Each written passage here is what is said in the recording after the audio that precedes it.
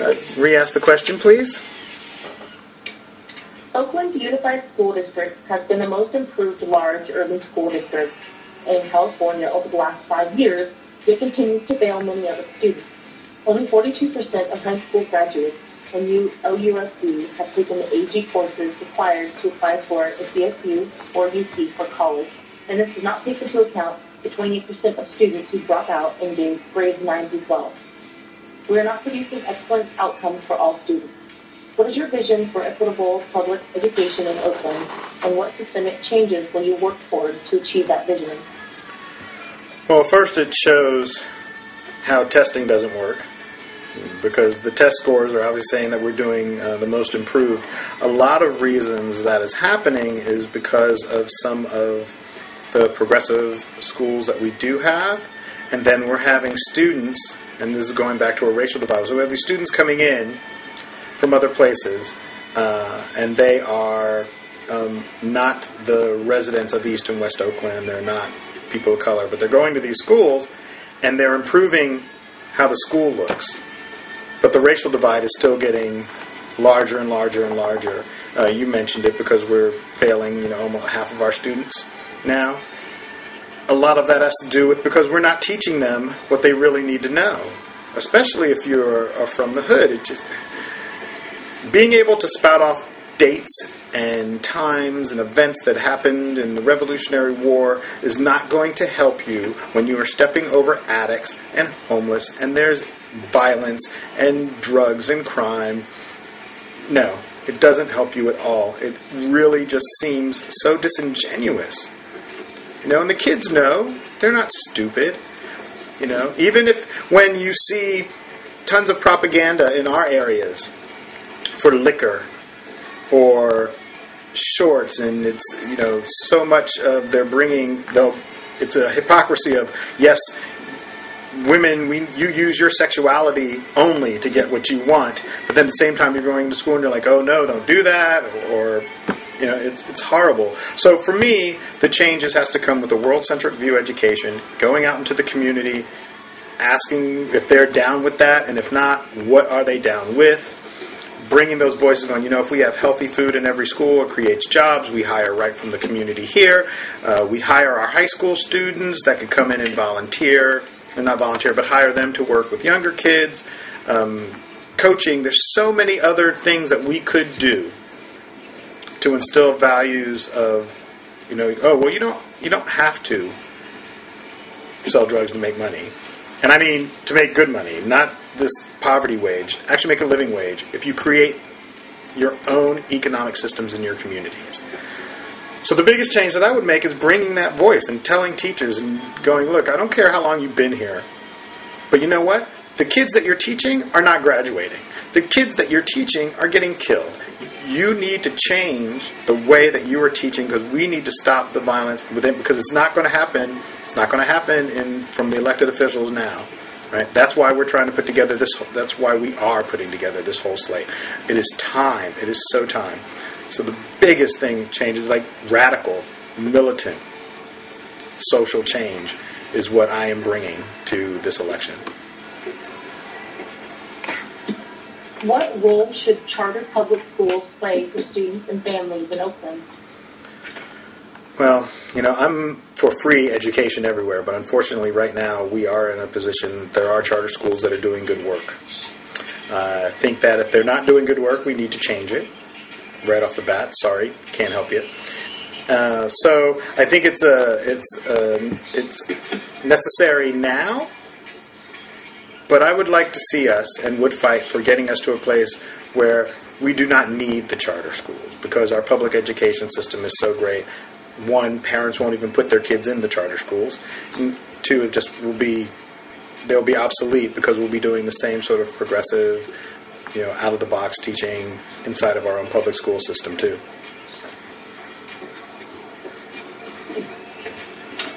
How do you plan to support public schools and public school students in your district? Well, one way is going out there and meeting them face to face not through mailers, not through email lists, not through phone banking. And though, you know, we will do that, but really it's going to be about wearing out my shoes and walking door to door, and not just to the parents, but talking to the kids and showing the kids that you know, okay, you're six, you're nine, but I still want to know what you think and value you as a person. So this is your education, you know, and teach him. I used to have when I was working. I used to have a joke with my kids, like, "Oh, so one thing I thought was easy to do. They wanted to have hamburgers once a week, right?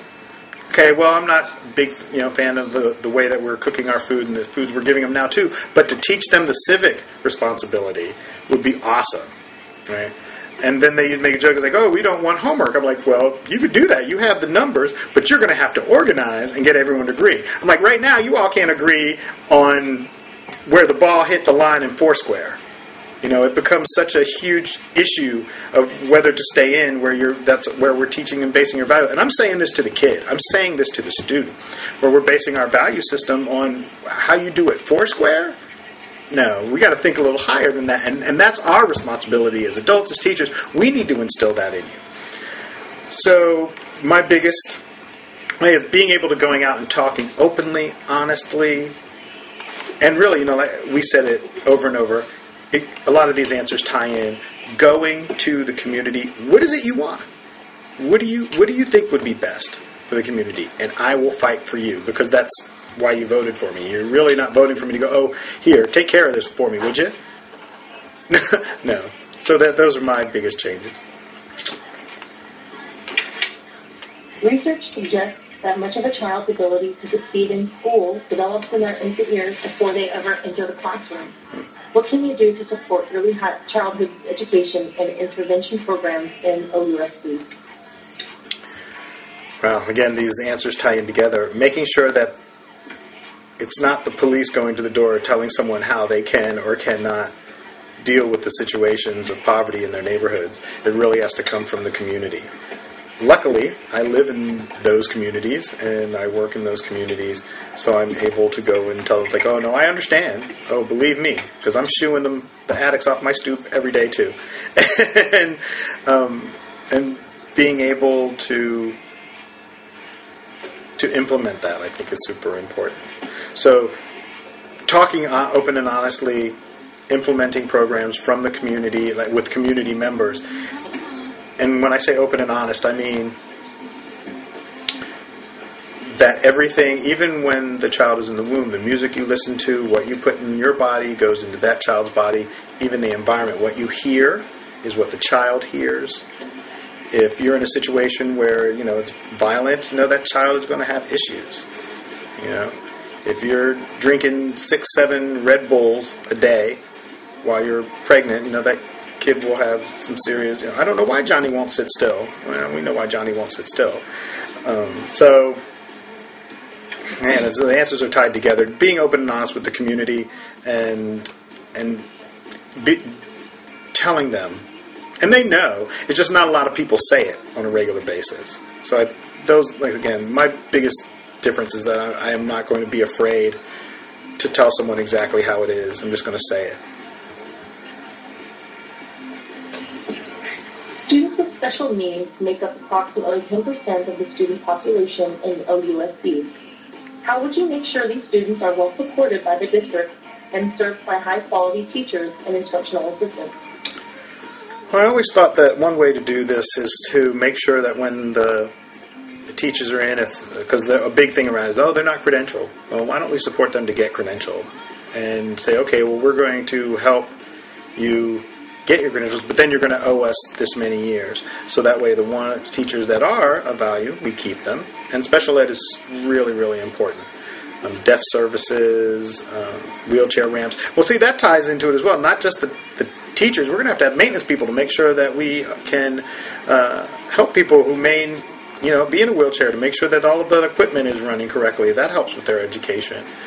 But securing teachers is a big deal. I think we should support them, make sure to get the credentials, make sure that they stay up on uh, current schools of thought. I think is super important as well, and and providing them some uh, support to do that, whether that be online or sending them to conferences, uh, and not using seniority necessarily as a way to just because you've been if you've been a crappy teacher for 10 years okay i'm sorry you're going to have to go. Because you've been a crappy teacher for 10 years and you're not serving um, those who probably have just like people of color have some of the least amount of voice as far as representation in our society. And then we're going to pause there and do another question